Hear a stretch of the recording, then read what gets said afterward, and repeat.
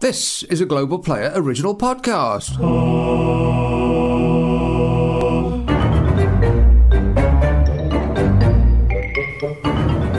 Hello.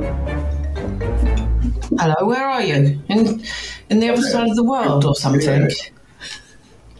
Oh no, I haven't got my microphone in front of me. What an idiot! I'm just I'm just talking into thin air, like I'm speaking to a ghost. Is there anybody there? Is there anybody there? Where are you? Uh, I'm at home. Where do you think I am? Oh, you you are equally um, not paying attention and doing what you should be doing. You idiot. Where's the microphone? It's there, isn't it? Put it in put it in front of your face hole. I have. It's there. Look. You're over the other side of the room. I, I am not. You bleeding well are. Oh, I know why. Oh. no, I'm not. Right, I'm gonna. That's it. It's over. I've got to kill myself. no, don't. I'll do it for you. Thanks. is it working? That's it. It's working now, isn't it? It is working now. Right. I don't know what that was about, Nicholas. I'm sorry, but it's it's the weather. Let's blame everything on the weather. User error, I expect. Well, when everything shuts down, I don't know why it, nothing works when I start it up again, and then I have to restart it up. I don't, don't understand that. I do not know why that happens. User error. No, it's not. It's all user error. it's not. The screen looks exactly the same as it did the last time, except I've changed my name. The settings. Yeah, well, yeah, the screen. It's the screen, isn't it? Oh, I've got a hangover from hell. You need to uh, re establish your relationship with, or reset your relationship with alcohol Why? because you've got the hangover from hell. I know, but the only way to reset my relationship with alcohol at the moment is to get a glass of wine. No, no, no, no. It's way too early. Give it another half an hour. It's not early here. It's twelve. It's quarter past twelve. Right, like I said, give it another half an hour. That's almost one o'clock. It's practically six. Enjoy. Well, we've got lunch at two thirty, so we're going out. Are you going somewhere exquisite? Well, no, not really. Just um, just one of the beach restaurants down in Nice on the beach. Yeah, see, that doesn't sound very nice at all. That sounds awful. Oh, no, I'm just going for lunch on the beach at Nice. It's dreadful here. Well, I'm sorry, there are restaurants on the beach. they're, they're just on the beach. They're only there in the summer, hmm. and it's it's just nice looking at the blue sea Yeah. and having rosé wine and eating nice fish and stuff. That You know, sounds that sounds awful. We've got to do these things while we can, Nicholas. Yes, that's right. Because the end of the world is penciled in for is it October? I don't know, but soon. I mean, yeah, for the rest of your life. Yeah. the hysteria is driving me bananas. I'll tell you, unbelievable. Bit of And you and you don't have to be driven very far to go bananas. well, no, I'm trying to, I'm trying to stay calm. Success? Well, it's normally that's why I've got a hangover. Oh right, that's your coping mechanism. Getting absolutely hammered. no, I mean I drank a bit last night, obviously, because I just get so excited about coming home. Because I've been in London, you see, I've been doing loose women, Right. and I was the only there. Oh, and the other thing I got really excited about was the fact that the airport was really quiet. Well, that's bizarre because the people were queuing for six hours to get through Dover. Well, exactly. So it's got to be somewhere. There's got to be a crisis somewhere, hasn't there? But Yeah. it definitely was not at Heathrow Airport yesterday. It was Wow. it was quiet and I was you know when you work yourself up into a frenzy like imagining how terrible it's going to be. Yeah. and then when you get there it's not oh my god, it's just it's just the nicest feeling. That's really weird. Weird weird, though, because I thought that this last weekend was the busiest, was going to be the busiest weekend for like three or four years because we had the two years of COVID and then you couldn't travel here and you couldn't travel there. And Ah. so everybody like cancelled their, their plans. And then this weekend was going to be the worst in history because Yeah. everyone, all this pent up demand to go away, and finally we could. And you breezed through uh, Heathrow like a Hollywood superstar. Absolutely no problem. And also, the kids all broke up yesterday. So it's proper summer holidays now. But why they've all decided to go via the Channel Tunnel, I don't know. I mean, that queue, oh, it's just seven, seven hours someone was on the news going, Yeah, seven yeah. hours we went with two kids in the back. Oh my Nightmare. God. Horrible. How hellish is that? Well, I, I don't know. I think people have just been put off going to the airport because um, the newspapers keep telling you that they're they're hellish, but they're not. My friend went from City last night, London City Airport. Yeah. She said that was really quiet. It was a breeze. It just like sailed through. Well, London City Airport, I mean, there's nothing there, is there? I mean, it's tiny. I mean, it's small, yeah, but it's it gets quite busy. It does Yeah. it does a lot of um, domestic flights and BA. I fly into City sometimes. I prefer City actually, um, but when it's busy, busy, it's a nightmare because, and and also the security people there are really officious, and at Heathrow they're really quite friendly. You know I mean? well, at City Airport, they, they're used to um, dealing with stressed business persons who um, they want everything and they want it right now, God damn it, or I'm going to see your manager. That is very true. Actually, when you go from city, it's not like it's not like Heathrow or Gatwick where there's loads of kids with their bucket and spade. Hmm. The, it's always like blokes in suits and Yeah. you know looking very impatient and always on their phone. yeah. Not having a very nice time. no, and then there's me. There's you with a glass of rosé in one hand and a glass of rosé in the other, going, "Purr." Do you know how much a glass of rosé is in the in the cafe let at me guess. City? Let me guess. Have a guess. How big is the glass?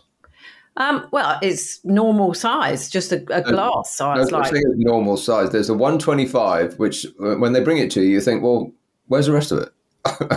Yeah, that it's like a little taster one, isn't it? That's right. Would Madam like to taste this before we just give her the bottle? Yeah, there's 125, two, uh, 250. 250, and that's a third of a bottle, which Yeah. is always a surprise because it doesn't look that much, does it? No, it doesn't. And 175, actually, they do 175, don't they? Which is kind of in So between. what are we talking about here? Uh, I, I don't know. It looks looks like about a 175. It's definitely Right, not 250. It's going to be eight pounds fifty. I better got that right. No, you haven't. You've got What? it completely wrong. It's more than that. A bloody coffee is about £4.50, and that's Oh tiny. God. Honestly, it's the most expensive, the most expensive airport cafe restaurant ever. Well, those people aren't paying for themselves, though, are they? They're- on expenses from Goldman Sachs. Um, probably. Well, the the yeah. Occasionally, you see tourists in there. There were two girls in there last time when I left, and it was early Saturday morning, and they were like ordering absolutely everything. They must have had trust funds or something, because they ordered like full breakfast and two like glasses of champagne and two like other drinks, and I just thought, oh my god, that bill's going to be like two hundred quid. for breakfast. For breakfast, yeah, it was only like seven o'clock in the morning or something. I thought, Well, I don't know. The, the holiday starts at the airport, or it should do. It should, should start with the packing. Well, it does, but you, um, do you know? do you remember being that young that you could eat a giant full English breakfast, drink champagne and wine at seven o'clock in the morning, and still just walk onto the plane? I don't. I can't remember that. and still just walk straight on the air and do a superb show. having, having not been asleep all night long. You just come from the club. You're absolutely stinking. No, Yeah. I've never done that. I've never done that. I bet you have. I have never done that. I bet you ever. have. I have never done that. I know you have. I can tell by the way you're saying it that you definitely have. I definitely have not done that. No. And I will sue you if you say it again. So when we were at um, Virgin Radio, remember in Yeah. Golden Square? yes. So did you ever, because everybody else did, just sleep on the couch there? No. Not once. No. Definitely not. Oh God, that was just a hive of drunkenness. It was shocking. Well, they it was their fault. They provided a massive fridge of free booze that people were tucking into at all times of the day and night. Yeah, yeah. Do you remember that? Like free booze. They had a party, uh, like a not a, an organised party. It was just people went back and had a bender and were dancing on the boardroom table, and it collapsed.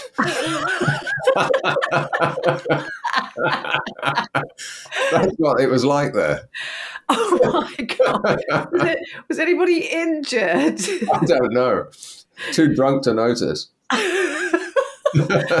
it was mad, wasn't it? I mean, the, what you used to get away with there was just Amazing. I mean, Yeah. uh, really crazy. Those were the days, though. I Yeah. think. Well, I used to work in the Virgin Megastore, and it was like that on steroids there. I mean, it was insane what was going on at the Virgin Megastore. Because Did you I, get I free would booze there as well? say, what? Did you get free booze there as well? Oh, God, no. No, Oh. no, no.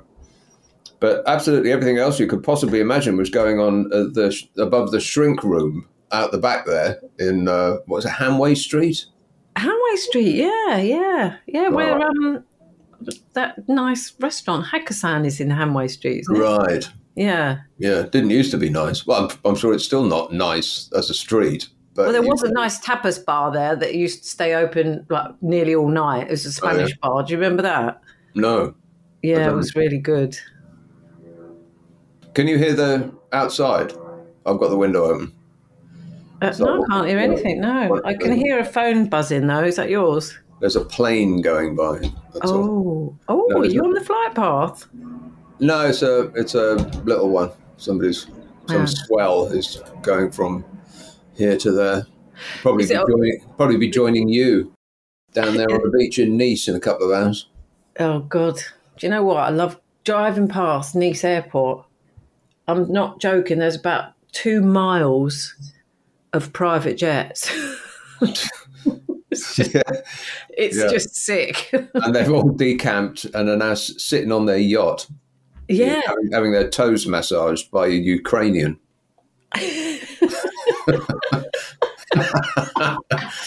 That's true. That's probably right. Yes, Yeah. especially as the Russians aren't allowed here anymore. I know they do. They are though. They Yeah. pretend that they've thrown all the Russians out. Yeah, sure think they have. Yeah. They haven't. No, No, they too much money. yeah. anyway, so um, what have you been up to, Nickers? Apart from working, you've been work. Don't tell me you've worked ten days non-stop, no break. No, I haven't. I I did the I did nothing this week work wise, and it Oh. was it felt as though I was being naughty, as though am I actually allowed to just sit here and do nothing? It just felt really weird. Why? I, couldn't thought you was working every day. No, not this week. This last week I was working every day. Oh right, okay. So you've Yeah, so this week I just spent the entire time thinking, "Oh, this feels odd. Am I? Should I be doing this? Don't I have to prepare?" Oh, you worked last night though. Yes. Yeah. This being Saturday, yeah. Well, one thing I did this week, and people people are going to have to grip onto something firm because you're not going to like it. What? I went to the zoo. Why would why wouldn't I like that? Well, not you necessarily, but people listening are not going to like that I went to the zoo. But I have not wanted to go to the zoo my, pretty much my entire life because it all seems a bit like, should we actually be doing this? You know, I know with what you the, the animals. But they, the, what the the, diff, the reason that I went was they had an advert says we're um, having um, uh, dusk openings for adults only. For, uh, we've got cocktails and food and what's that? I don't know. It's an Italian number. Who's calling me from Italy? I don't know anyone in Italy. Well, the more important thing to think about is why is your phone on? Well, that's my other phone. My phone is off. But my, My other phone phone. is. Wait a minute. My phone is off, she said in a huff, but the other phone isn't. That's What? right. That's my other phone. I've got a French phone, haven't I, chump? That's my No, you're a chump. yeah, I'm the chump. That's my French phone ringing from Italy, and I don't know if I booked a holiday in Italy or something. Should I be there now? Where are you? uh, it might be a delivery. Uh, oh God, I don't know. I'll ignore it anyway. Sorry about that. I've Yeah. tell- let me. I haven't turned my email off either, so you're going to stop moaning about that when it goes bing, and you go, "What's that?" That's right. Yeah, I went to the zoo because they had an evening, uh, like an after hours evening thing. Mm. They said, We've got cocktails. And they had me at cocktails. So I thought, well, all right. I mean, okay. Because it's, I'm kind of interested in, you know, the architecture of it all. There's that, that penguin house that's really famous. And Yeah. I'd just be interested to see what it's like. Uh, with the benefit of there not being any screaming kids, not not Mm. many people there, and they're putting on a show, and um, it sort of reinforced my opinion that I don't want to go to the zoo because there actually weren't that many animals. It was like No. it, it felt a bit like being in Jurassic Park because everywhere there was these big fences and they were electrified, and you know you expected uh, T Rex to, to come charging out of the undergrowth any at any moment. It's, Hmm. bizarre the uh, you know the look of the place. So there weren't really many animals out because they don't have crowds of people at that time of night. Everybody goes at six, and then it's quiet for the animals. And so I assume that they just go to sleep, to sleep. Um, so I don't they think they really, have many animals anyway. Though, do they? I think. I don't think they've got. Have they still got elephants there? I don't think they have. I they don't had think they have. giraffes. They had giraffes. They had, Giraffes. uh, yeah, all right. a couple of giraffes. They had a tiger that was just doing that pacing thing, up and down, Oh. and up and down, and up and down, and up and down. And that made me a bit sad. It is sad. A couple of um, uh, monkeys of a, type. Um, I thought they were lemurs, something like that. Mm. Parrots. Oh my god, what a noise those things make! I, I know. Such know. a racket. How can they stand it? um, Racket. it was. But other things in it were, were interesting. I mean, like I said, I, I like looking at the, the buildings and just the, the it of it. And um, I had one of the best burgers I've ever had in my life at this. At the zoo. yeah, at this. They, they did these pop up stands Mm. for booze and food, and it was an African stand, and it had plantain in it, like fried plantain. Hang on, there's no animals at the zoo, and you're eating burgers. Ooh. I t- yeah, I tell you what, those lions absolutely delicious. Was it really? Oh my god, I haven't been to the zoo for. I actually, no, I went. Um, 2008 was the last time I went to the zoo, and I know, only remember that because um, it was one of my first dates with Mark. Right. And we went to this like charity thing at the zoo and i got to feed the giraffes and everything. And it was and i've got a really great picture of us at the zoo. That was the last time i was there. And there weren't many animals there even then. And it was in the middle of the day. So i don't know where they all are. They, do they still have penguins there? Well, the Penguin House, you know, that old, was it Yeah. Is that the architect? I can't remember. But um, that's still there, but it had a woman playing a harp in it. So they didn't have penguins in there. I think they've moved the penguins to somewhere else. Oh, no, they have. They, they, yeah, that's right. They had a little show there. Um, they moved the penguins to somewhere that's more penguin like rather than this austere, sort of um, brutalist penguin uh, festival of slides. It was just really, I mean, it looks nice to humans, but I'm sure penguins absolutely hated that whole famous penguin house. But Yeah, now they they probably like it because it's white isn't it and they think it's like snow and ice they probably don't think anything of the sort. that, that's They're- like that is peng- london zoo isn't it that penguin house It is, yeah, but they're not there anymore. But um, in all, great burger, Mm. interesting buildings, but I'm not totally comfortable with that whole zoo thing. No, it is a bit. It is a bit, isn't it? Especially tigers and things like that. Yeah. They've probably been in there so long. If you put them out in the wild, they wouldn't be able to fend Oh, for themselves. yeah, none, none of them would. No, No. Uh, I mean insects. not bothered. No. Um, reptiles don't really care. Um, but I mean, they did say, you know, we are all about conserving the species and stuff like that, and and, and that's all very good and commendable, unless you are the individual of the species they're saving, because that tiger, if we're saving that spe- specific strain of tiger, Ah, then that's good for tigers, but not that particular tiger. no. It's going to spend its entire life pacing up and down 10 feet uh, in front of a door through which it would uh, dearly love to eat everyone that's looking at it. They used to have pandas at London Zoo. I don't think they've got those anymore. No.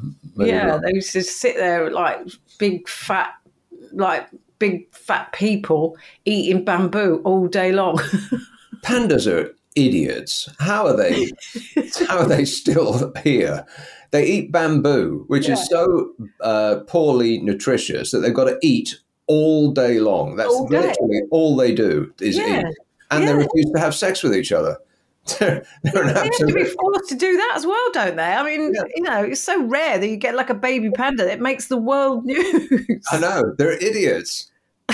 They're idiots. Do they not understand that they will die out completely if they don't start having it off? I mean, stupid. Maybe it's the like the the, the longest uh, suicide attempt in history. Yes. They're They're just- trying to become extinct.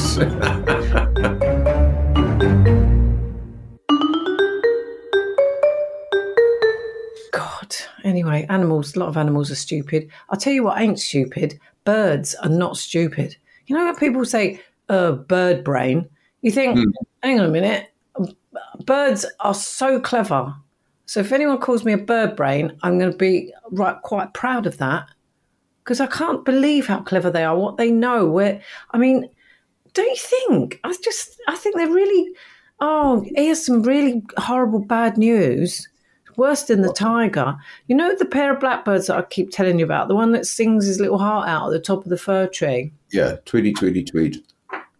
We found him dead under the bush. Oh, you killed it. I didn't kill it.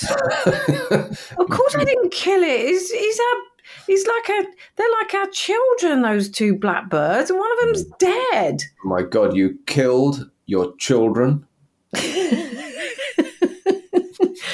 Well, seriously, it's. I I was. I'm seriously. I nearly cried. I nearly cried. Well, it had it just died of natural cause, I don't know how long a blackbird lives. Not very long, I wouldn't think. Does it even last a year? That's what I tried to find out. Actually, does it? Do they just drop dead? Because this blackbird literally looked like it was. It had just dropped dead, just hmm. fallen over. It was Yeah. totally intact, and It's an ex blackbird. because it hadn't it hadn't been attacked or savaged or anything by Right. another animal or anything hmm. like that or a cat it was just it was just on its side just completely looking like the blackbird like it might be asleep or something just stunned. yeah what, what, there was nothing for it to bash into because they do do that they do stun themselves sometimes. Oh yeah, well, windows. They, they're, yeah I tell you what, they are uh, they are actually stupid. They can't avoid windows. I mean, for crying out loud. yeah but you can't see a window i've bumped into windows and fallen over loads of times I believe that. I honestly have. I did it in one of those really cool beach clubs. Um, really, like, just full of really cool people and young people and you know, with perfect bodies and all. And I just literally walked over to go to the loo, and there's a glass door there. I just I fell over, and that was it. And nobody helped me. Nobody. Everyone was was so embarrassed for me. I think that they didn't even come over and help me get up. how, how mean is that?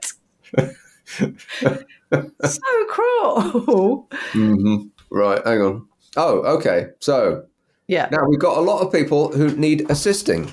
Well, that's the point of this podcast, isn't it? Is it not? Uh, not. Oh. Yeah. It's, it's supposed to be. Definitely not. No. Uh, All right. Right.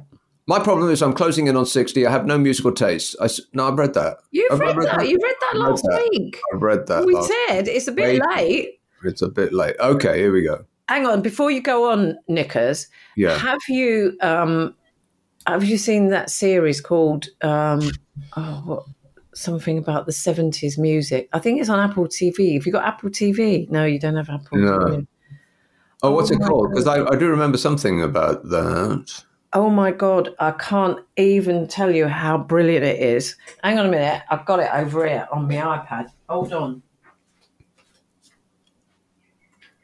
La, la, la, la, la. You, you will absolutely love it. I'm only on episode three, but it's just all about like the late 60s and the 70s and um, the drug taking. Oh my God. Well, what's it called? I'm just finding it. Hang on. TV, Apple TV. There it is. Hang on. Oh, everything's so bloody slow. Nothing was.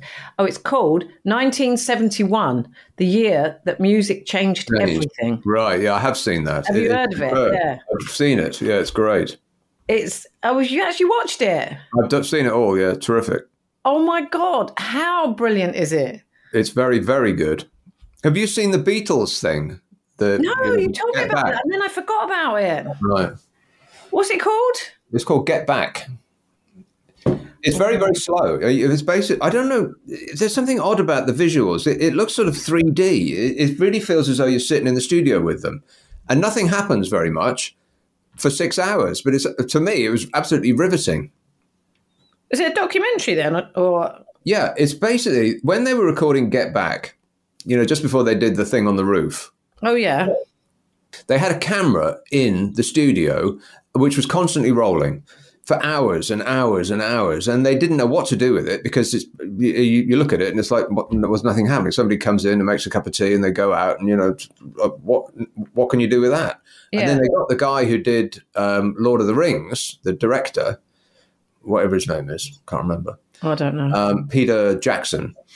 And he sort of, I think he colorized it, maybe. I'm not sure. There's something odd visually about it. It, it does look as though it's 3D. Very weird. So, so I don't know what they've done. But then he edited it all down and, oh, it's just great. So once you finish 1971, watch Get Back How did you watch 1971 though? Where where was it? on um, on the television. Because I had to subscribe to bloody Apple TV. I mean, I, it was free because I got it free for five months with something else. Um, but it's That's probably how I got it. yeah, I've got. I, I mean, I've got to watch it like because I don't know when the time runs out. But and when when the time runs out, they d- d- delete it from your iPad, your downloads, don't they? So you can't watch anything. Really? I've I've watched three episodes. Oh my god, I want to watch it all again. It's just so good. Hmm. It it's is. the best thing on telly ever. Anyway, Yeah, I mean, I this summer I have hardly watched any TV at all. Like you know, half an hour eating dinner before I go out to work, and, and that's about it. But um, come the winter, when we all, all get sent back inside, which is coming around really quickly, Carol. Oh my God, it's almost August. No, then uh, yeah, I've got I know. Where's July gone? Where has July gone? yeah, It's the twenty third of July. correct. Flipping heck. We're already on the downhill, aren't we? We're already getting darker already. Well, that happened at the end of June. I can't. I can't. Literally can't bear it. well, you're all right. It'll be warm until November there.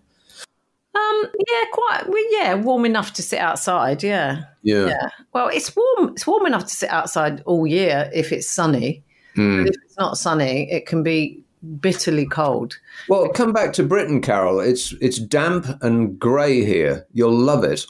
I've just been there. and it was dull and damp and grey. I luckily I missed all that stupid scorchio weather. Yeah, I I didn't. Even I, for about an hour there, thought, "Oh, this is a bit hot." and I took my um, my merino wool underclothes off. Oh, They were back on yesterday, mind, because it was only about seventy six. Are you joking? No, You're, you're, you're kidding, right? no, I'm not kidding. I've just taken it off because it's a bit warm. What, what, what's it? What is it now? Let me just check. I'm checking for you while you wait. All right, One I'm one waiting. moment, please. I'm on tenterhooks. Hmm. Do you know what tenterhooks are? No, I don't. I just say it because that's what people say. what is it?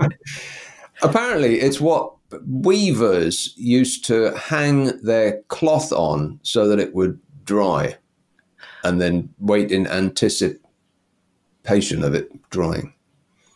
I believe Oh. that's what it is. It's 72 degrees. Well, I know, but what's that in new money? Don't you do Fahrenheit? No, What? no, it's all no, it's all C numbers down here, isn't it? 22. Well, that's not cold, is it? No, that's what I'm saying. I've taken off my woolly. What's it here? Let's see. Shall I go outside and look at the thermometer? No, I can tell you what it is because I've got you on my phone. It's 29. It's going to be 30. yeah, Oh, look at that, Carol. that's Every right. day for a week, it's going to be brilliant hot sunshine and 31 degrees. Yeah, I know, and I've got to go back to London again on uh, Wednesday. Oh, well, what time's dinner? Well, I ain't going out because I'm going. I'm I've got to go. I've got to do Loose Women on Thursday and Friday, and I might Yeah. do GB News on Thursday night as well. So it's just literally a whirlwind trip just to do some work. That's it, really. I know you think I don't do any work, but I do. I work very hard. no, no, you don't.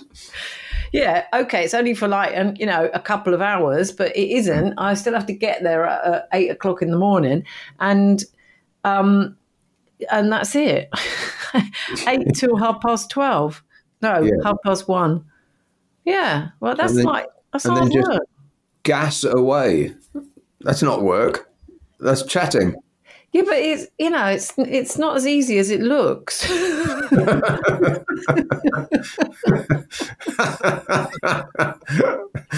yeah, it is. it's not. Right, how many people have we helped so far? Oh, I don't know. Quite a few. None. you are a terrible person. I'm sorry. I am a bad influence. Dear Nick and Carol, a quick follow up. You read out my message. I was uh, stunned, mainly because when I submitted my message, I had partaken of a couple of three glasses of red wine and had forgotten that I corresponded. My colonoscopy went ahead. It was an eye opening experience, but not as alarming as I expected. In my previous message, I said it's beginning to look a lot like Christmas. It was a tenuous, a tenuous at best reference to St. Nick and Christmas Carol. Very poor on my part. This, this goes on. I've only got through about a third of it. Maybe I should pass it by. Yeah, we couldn't under we couldn't under what he meant by that. It's beginning to look a lot like Christmas. We thought it was because he was going to get to see up his bum. what? You remember this? yeah, I remember it. Yeah, I remember the. I do. I do remember it. Yeah.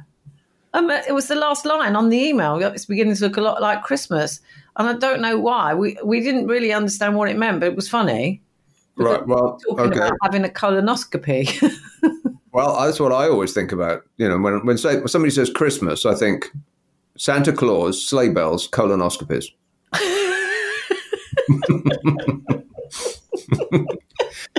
anyway, there might be a question in here. I'm considering selling my house, but I find myself blighted by barking dogs who live in front and behind.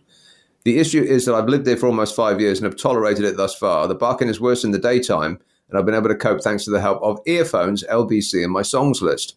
Is it immoral to make no mention of this issue when giving viewings? The dogs mainly bark when other dogs pass by. Mainly, uh, maybe I could install temporary roadblocks to conf- to confront the owner. Seems like more trouble than it's worth. Huh, says John. well, I can actually help with that. Go on. you are not legally obliged to say anything about the dogs uh, unless you've started a, a fight over it or Right. to put a complaint in. Yes. If you officially complain, you are legally obliged to tell the buyer. Yeah. So, um, if you have never approached your neighbour or done anything official, you could probably have a word.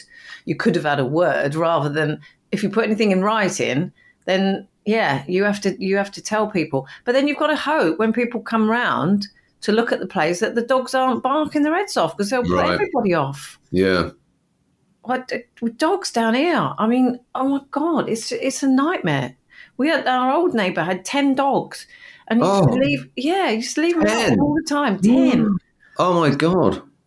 It was like he was running a sanctuary or a dog's home or something. And when he in the summer, he used to lock them in the garage, the garage, and he used to bloody bark all day long, and it was so cruel. Anyway, he had he moved out, so I think some of the neighbours did complain to his la- to the landlord there. And who's renting? It was renting, yeah. I Oh mean, my imagine, god. imagine being a landlord and saying, "Yeah, it's all right. You can bring your ten dogs." I mean, seriously, can you imagine? So the new Was people, they've got three France? dogs. Was this in France? Pardon? Was this in France? In France, yeah, yeah. Right, right, right. So um, the, the new people there, they've got three dogs. So two of the dogs, one's a golden retriever and one's a boxer. They never bark. But then there's this weird looking thing with a scrunched up face. Just barks all all the time at nothing. Do you know what I mean? At nothing. Yeah. I don't know. What do they bark at nothing? I we don't know. We don't I- I think- complain, but Yeah, I think that dogs are so stupid that they they think that if they bark at somebody walking by the house and the person keeps walking, it's their barking that made them keep walking rather than come in and attack them. So they make that conclusion right off the bat, and then they forevermore bark at people walking past the front of the house because they think that it's only them that's preventing them from coming in.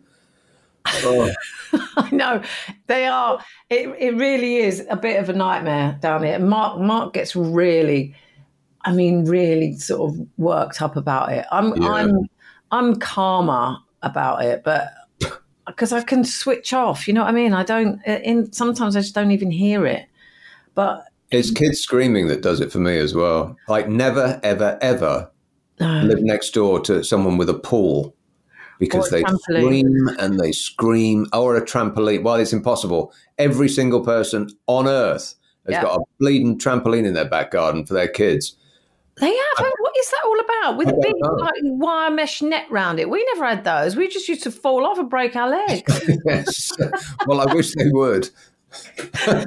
I don't know. It is a new thing, though, isn't it? Like everyone has a trampoline. Every Everyone. single house with kids has a trampoline. Every single one. It's Yeah. amazing. So you can't really avoid that, but you can avoid a pool. Never live next to someone with a pool. Or go on holiday where it says "great for families." Oh no! warning! Warning! that annoys me more actually. If I'm on holiday and people just let their kids scream all mm. the time, jumping in and out of the pool. Oh my god, it drives me mad. So we've Yeah. just booked another holiday for next year. For next year, Where? Where are you going? Butlins. yeah, that's right. and we've booked somewhere that's got like its own section of adults only, no kids. right. And it's like I'm, I'm, I just, I can't. It really spoils the holiday, doesn't it? If you have to listen to bloody kids screaming, why do they Well- have to scream all the time? I don't have to scream. Well, I, I sort of, um, I came to the conclusion. Let, let- uh, I can't remember where we were. Probably in the South Bank. They've got those jets of water that play, and kids run around in them and they scream. And I thought, Fountains, you mean? yeah, why do they do that? And I think it starts as a baby because it's their only defense mechanism. Uh, That's all a baby's got to make a ear piercingly loud noise that a, an attacker would put it down and walk away, or it attracts the attention of its parent. So that's why babies make that seem seem to have the ability to make a noise beyond which you wouldn't think something that small would be able to create. And when children, before their voices break, that's pretty much all they've got too, because they're, they're not strong enough to fight somebody off. So they, it's like they're testing their vocal ability. They, they, they don't, they're not impeded like adults are. 'Cause if I screamed like that, I'd be hoarse in about two minutes. Wouldn't be able to, wouldn't be able to make a sound at all. So they don't have that. And um, Yeah. I don't know. It's it's, it's just a, a carrying on from the defense mechanism that they had as babies. But I wish they'd shut the f- up when they're doing it. yeah, I don't know if it's um on plane. Is it on planes or on in in swimming pools or where it's more annoying? You like if you're sitting behind or in front or next to someone with a baby that's making that noise. You know, I don't. I don't want to do anything to to the baby, obviously. but, but you do have to sit there and go, why are you making that noise? What what could possibly be wrong that mm. you have to? I mean, it's, it is it's piercing, isn't it? It's just oh, so, yeah. a bit like well, my voice right now when I'm getting worked up about it. Yeah. But babies, I mean, there's nothing you can really do about a baby. You can't tell a baby to, to, or you can't tell a baby's parents to maybe get it to tone it down a bit because it's beyond their control quite often. Yeah. yeah. But children, like if they're I don't know what age children start screaming, sort of like three, four, five to yeah. 10. I mean, a parent can tell them to shut up. I mean, for God's sake, take control of your children. Yeah, I agree. I agree. I mean, I, have never actually done it.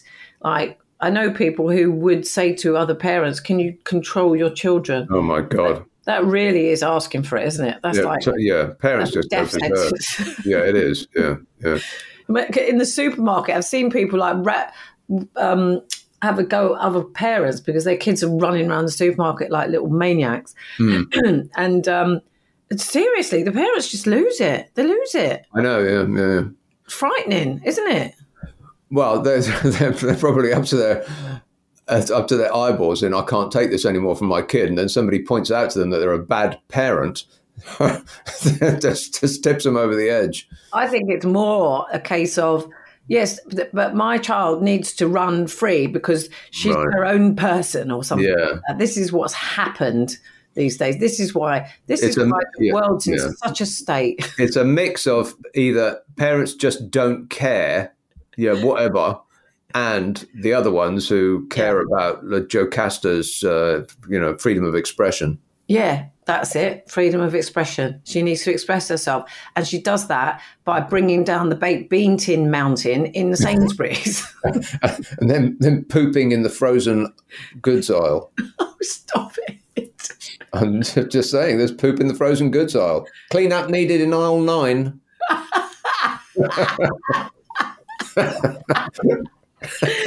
I've never seen that before. Does that happen? No.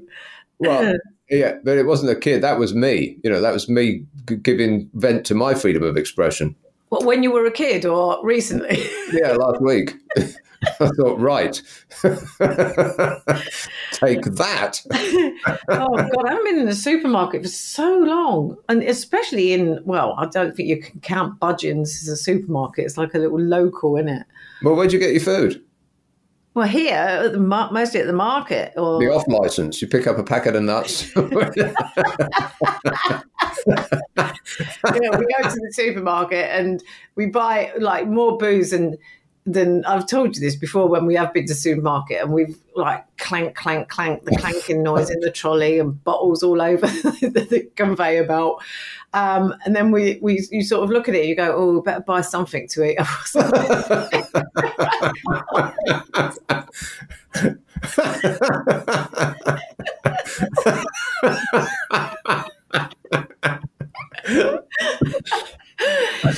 so you you just sort of like pick up whatever's like by the till. Like, oh yeah. yeah, yeah. No, we do eat food as well.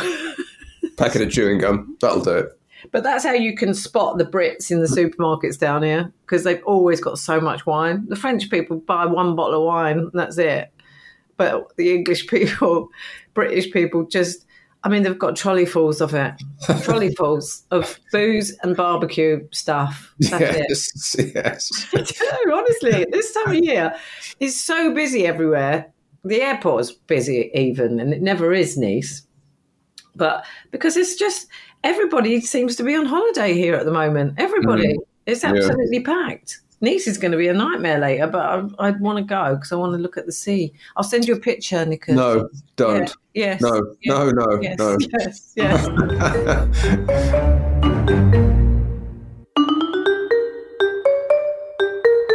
right. Hi, Twit and Cackle.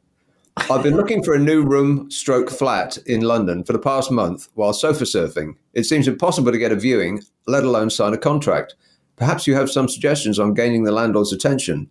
Failing that, some other way, some other ways to find shelter in the city. Thank you kindly, says Mark. Oh well, I don't know. I think I think um, didn't the government do something to ruin the rental market? Didn't they like give so much protection to tenants that landlords aren't renting out anymore, or something like that? That's why it's difficult. No, I think that was something like making it less uh, financially attractive for people to own dozens of properties. Um, which is not a Tory thing to do. I thought they'd have been all for that, you know, being as how mm. almost all of them own dozens of properties. yeah, but what do but, they ever do that's Tory anymore? They don't. Right, they but don't that's not what, but we're not talking about that. Anyway, yes, I, I understand. no, because I tell you what it's about. It's about it's about money, isn't it? It's, it's just they're broke. We're broke as a country. We're broke. They need as much money as they can get, so they're penalising landlords. Yeah, but we're not talking about that. I didn't talk about it. I just said it. Hey, you know, we have a, haven't had a sausage and dingleberries topic. Although I think if we don't do one, then the one that we didn't use from last week carries forward. Oh, remember what, what that was? was what was it last week? No, it's one that you came up with, which I thought was quite good. Hobbies. Oh, hobbies. Yeah. Okay. Well, well, it's not a sausages moment because it was just uh, almost. Well, almost. no, because I was trying to help the poor guy who can't get a viewing for oh, a room. Right. I yeah. was I was um, musing as to why that might be. You just got to go on a lot of estate agents' websites and just spend your day on the online looking. I mean, it must be. I mean, that's what I did. Yeah, but anyone wants to rent a room. You don't get those from estate agents, do you? Really? You have to go. Uh, you have to read Loot or whatever it is. do they still have Loot? I don't know. Is Loot still a thing? It used to be that um, people would put adverts in newsagents' windows. Yeah. Room available. Yeah. Three and six. Three Much and like six. cats. Three and six. Yeah, they did. Do, they did used to do that. I don't know why. I mean, that would be a good place to look, wouldn't it? Still, because no, or, or on post office notice boards. No. I don't know how you. What's the post office notice board, Grandma? Well, wouldn't you go on Facebook or something like that as well? Yeah. Like, I mean, there must be some some sort of internet thing. So. I, I, I don't know. I, it is it is hard, but I do it remember. Used to be in the back of Time Out, didn't it? I mean, Time Out used to be room share. That's it. Yeah, yeah, yeah. And back in the eighties, it was so easy to just get places to live. Yeah, yeah. Wasn't it? And everyone lived in Clapham North. Well, I did look at a place in Clapham North but I didn't live there. I lived in no. Tooting for quite a while. Right. Which is down the road. I used um, to live in Clapham North in 1980 mid, like yeah. four, something like that, for quite a while. And um, it, it, hasn't changed at all. It's still a it's still a grot bag, just like it ever was. yeah, I know. Is that where the two brewers is, Clapham North? That no, that's up, up towards uh, the Common. I think that's on the High Street, isn't it? Oh, is it? I don't know. I thought that was Clapham North. No, Clapham North is uh, is the end where Stockwell and Brixton abut. Oh, that's it. Yeah, yeah the Stockwell really end. Yeah, grimy. Yeah, that's where my I nearly bought a house there. Oh, big mistake, huge. What in Stockwell? You're joking now? Oh, Stockwell, right? Yeah, mm. it was. Um, that, isn't that that one square where MPs live? What, eh? Stockwell? Yeah, I'm sure that Stockwell's got one like Victorian or Edwardian square of niceness surrounded by an absolute hideous mess uh, uh, where MPs live because it's very, very near the centre of town. It is, yeah, I know. Um, no, I don't know. I don't know that. It, well, anyway, it was so long ago. It was like 1982 or 83 yeah. or something when I nearly right. bought it and I was offered it by my property developer boss. And guess what the price was for a house? Thirty-five thousand. Twenty-five. Really? And I said, no, thanks. I don't want to have a mortgage. 25 grand. 25 grand. You couldn't even buy a front door for that these days. 25 grand. Yeah. Now, those houses are probably, I don't know, in the millions now, I reckon. Well, I haven't seen it, but I would be surprised if it wasn't. Yeah. Yeah. Well, yeah, because it was uh, Preston Stockwell was a bit gentrified, I think, isn't it? Didn't it, it get a bit No. posh? I know Brixton. No. Oh. no, no. Well, that's what they tell you. Well, oh yeah. Well, estate agents, of course they do. Well, people in newspapers as well. They own places in different Oh. parts of like the Sunday Times home section is hilarious for that. It's just why are you talking this area up? Oh, let me guess. You've got a house there. Do you know what I mean? Yeah. Well, all of the all of the magazines are, are kind of like that, with the exception of Best magazine. Oh, Best magazine. Yeah, Best doesn't talk anything up. Not They, um, the, the editor will have had a, a box full of, um, of makeup and moisturizer, and that suddenly um, magically appears in a whole page full of pictures of said products with, uh, you know, the legend. This is just the most fabulous concealer ever. Yeah, everything, everything in a glossy magazine. Not best because it's not glossy. It's, it's cheap paper. It's um, everything in a glossy magazine, like say Vogue, for instance, is more or less an advert. Right, but but not Vogue, like Vogue, but not actually Vogue. Well, that's what I said. Like Vogue, like uh, I'm trying to explain what I mean by glossy magazines. Right. Well, how much do they cost these days? Oh, I Oh. used to love getting magazines. I used to have like magazine orgies on a Saturday Yeah, afternoon. I, I know. I know. You've told us this before. Am I? Oh my god, I miss that. I do miss that actually. Yeah. But now they're just full of adverts, so I just don't buy them anymore. And I'm not really Oh. interested in fashion either anymore, to be honest. well, no. I mean, you know, I mean, I was scrabbling around to come up with something cutting and nasty, but I just can't be bothered. Well, you, are you? Are you? No, you're not. No. A dedicated follower of fashion. You bet I am. you, what? You walk around in track pants all day long and, and merino underwear. Uh, It's a fashion. It's not fashion. But I, I did used to be obsessed with fashion magazines and looking at clothes, and now I just think how pointless it all is. Yeah. It's pointless, isn't it? Really? When did you? When did? Because I can remember when I uh, uh, started my obsession with clothes that Yeah. um, cost me massive amounts into my forties. I can remember the moment that it happened, and it was watching American Gigolo. Do you remember that movie? Oh God, yeah, yeah, Richard Gere, yeah. Yeah. Do you remember the bit when he's uh, deciding what to wear and he, he Yeah. throws his stuff on the bed and it's all Giorgio Armani, which I'd Yeah. never heard of before. That he hadn't really come here yet, apart from one place. And so, and, and in that moment, and he's just, uh, you know, the, the music's on and he's deciding which tie to go with which jacket, and it all looks fantastic. Yeah. And at that moment, I thought, oh, I must have those clothes. And so, and I can't remember how I looked it up because how would you look up something like where is Giorgio Armani sold in this country? How would you look that up before the internet? Um, well, I suppose you'd just go down South Moulton Street, wouldn't you? Or Hmm. Yeah, but I'd like- never heard of South Moulton Street. I'd, I had no idea about any of this stuff. Oh, well, I mean, my, my I- previous cl- clothes, just, uh, as much as designer as I ever bought previously, were Levi's. So I don't know how I f- figured it out, but there was a shop on South Moulton Street called Brown's, and they had the first Yeah. outlet of Giorgio Armani in, in the country. And so I confidently went in there thinking, I'm going to look fantastic by the time I come out. And I checked the prices and stiffened visibly and thought, well, if I don't touch anything at all, can I get out of the shop with the amount of money that I came in with? But no, I wasn't going to be beaten. So I bought the, the cheapest thing that they had, Mm, which which was- was? which was a cap sleeved, bright blue logoed t shirt for a ridiculous amount of money, which I'm sure looked great on a six foot model lounging on the beach in Miami. Mm. But it looked pretty poor on, on some skinny white bloke in uh, the, in the middle of London. So it was one of those things that I wore once in the shop and then never again. Look, See, that's that is that's slavish, isn't it? That's slavish.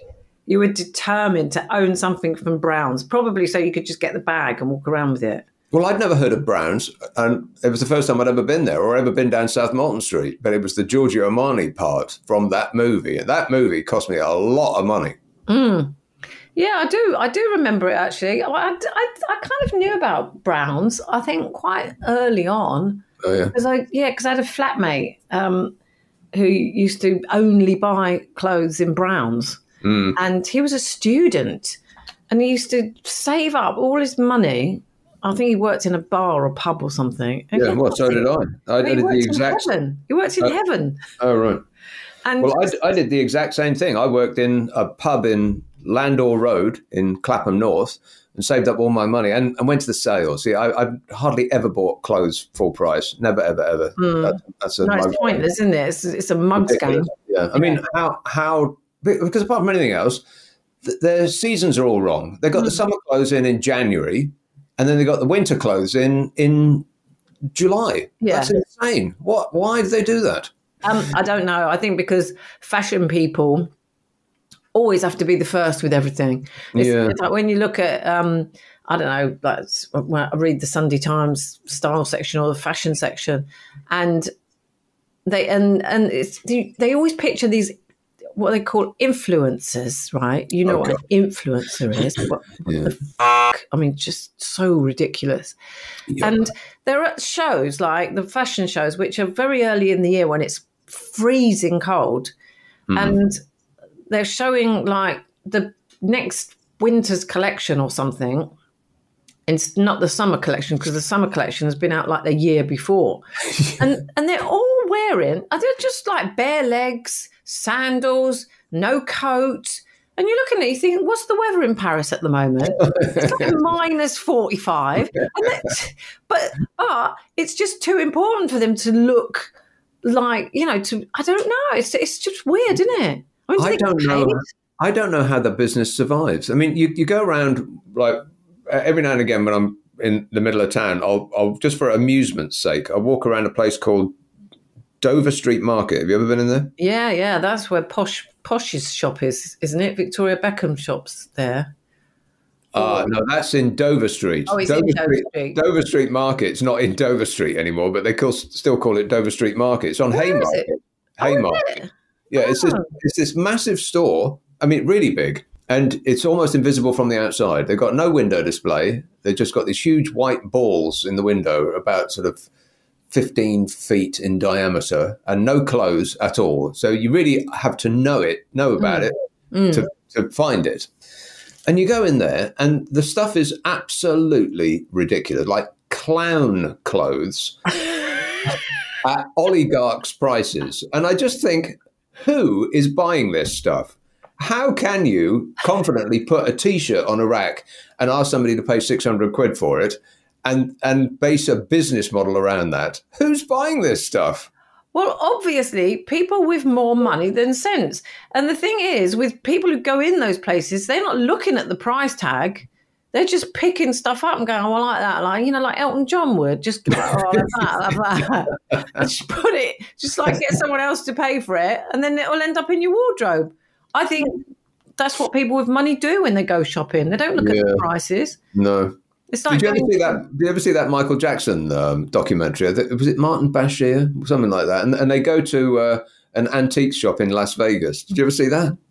I have seen it, yeah. Yeah, well, he goes to Neverland with him as well, doesn't he? Yeah, but in this antique store, and, Yeah. and they've got this, oh, it's absolutely this huge emporium of hideous old stuff, and hmm. they'll have like jars that are four foot high, and Michael Jackson's go go through going, oh, that's lovely, I'll have that one, and oh, that's lovely too, I'll have that one, I'll have three of those, and he just goes through, but he basically buys the entire store.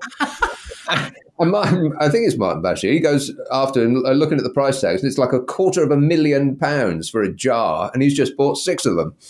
Oh my god! I don't, Apparently I he- don't remember it. I don't remember that bit actually. I have seen it. I'm sure I've seen it. Yeah, apparently he returned all of it the next day. Oh, so what? He was just showing off. Yeah, yeah, yeah. He was just making it look like he was going to an antique shop and buy all the stock. Yes. Ugh. Wow. I'm sure a lot of people do that as well. They they go they breeze through a clothes store, they buy all this stuff, they they wear it, get themselves photographed in it, or, or photograph themselves in it, of course, put it up on uh, YouTube or Instagram or whatever, and um, then they take it all back the next day. Uh, I think they almost definitely do that. Either that, or they get paid because some of these people, some of these women that, that you see, like really sort of, you know, not quite middle aged, but I don't know, in their 40s, I suppose, really skinny, perfectly groomed. Everything Yeah. about them is just like, you know, you would uh, fashionably perfect. Mm. And you'd think, well, they've got like millions, I mean, millions of followers, like five million people following them and, and hanging on their every word. So I would imagine that they probably do get given stuff or even they get stuff loaned to them all the time because if Yeah. they wear it, then other people are going to go, oh, I want that one. You know what I mean? so Yeah. I mean, I don't, what a life though. What a life. Can you imagine getting out of bed in the morning and thinking, right, the most important thing is what you're going to wear? I just can't imagine thinking that. it's the, that is the most important thing. And then you've got to spend hours and hours literally getting your hair done, putting your makeup on, making sure you look perfect. And that's probably every day. I, I bet none of them slouch around in their jammies at home with a dressing gown on with porridge down it. yeah, yeah. Well, uh, you're complaining about their lifestyle. You, you do everything that they do, apart from the making yourself look nice part. That's not fair, Nick. you can say that again. I've I'm had a shower this morning. Excuse me. I've got to go and get dressed. I'm not really dressed, but oh, I won't go into that. No. Uh, on on that awful note, that's it. Oh God, did we help anybody? Well, there was the guy with the flat, and uh, Yeah. we discussed it. I'm not sure whether we helped. Well, you came up with an idea. Look in estate agents' windows, but I don't think you can rent rooms in estate agents' windows. So actually, no, we didn't help anybody. You need to be on an estate agent's books. You need to call them on the phone. yeah, yeah. Yeah. Otherwise, they don't do anything. They're just like shop windows, aren't they? Estate agents. Anyway, listen, I've got to go. I need to go out for lunch. Right. so, what do you do? I go out for lunch most of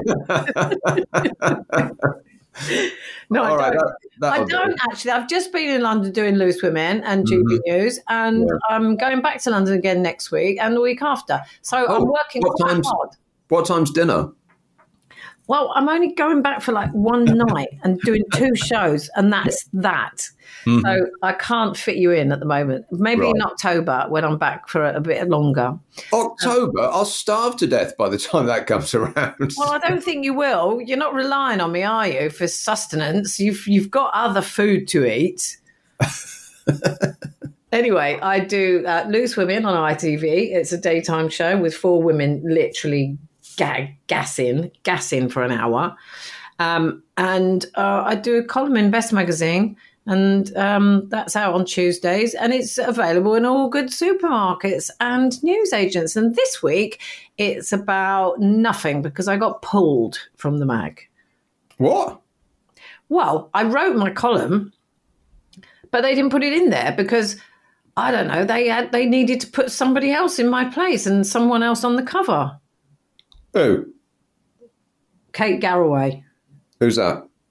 She's on GMB, Good Morning Britain. She's like a Good Morning television presenter. Oh right. Yeah, well, she's got uh, she's got a sick husband. That's probably why. Oh right. yeah, yeah. So you got bumped. I got bumped. Yeah, so I'm not that bothered. I, um, hopefully, I'll still get paid. Um, but it was a it was a good cover and it was a good column and it was all about um, plastic surgery and, and manipulating your face. You know, have you seen those apps where you can literally manipulate your face to look like whoever you want? Have you seen No, it? Oh my god, it's just terrible. Anyway, so that's my column next week, week after next. That's what I do, Nickers. What do you do? I do two other podcasts. One's called the Nick Abbot Habit, which is, uh, as it sounds, no, which is um, uh, the. It's called the Nick Abbot Habit, and uh, it's clips from old shows, all squeezed together. Maximum amusement. It's a half an hour long. If you wish to be amused and you've only got half an hour, it's right up your alley. Uh, ask for it by name on an internet near you. The Nick Abbot Habit. Plus, I do um, a podcast of my Friday and Saturday night shows on the radio. Uh, which is called uh, Nick Abbot The Whole Show. We take the news and the ads out, which means it takes less time to listen to. You'll use less electricity. And by this time next year, you'll have saved up enough to pay the tip on Carol's beachside lunch. and I'll be back on the radio Friday, Saturday, Sunday night at 10 on LB Seeing You. Excellent. Right. Is that it? Okay. I believe that is it. You may go. Can I go now? You can go right now.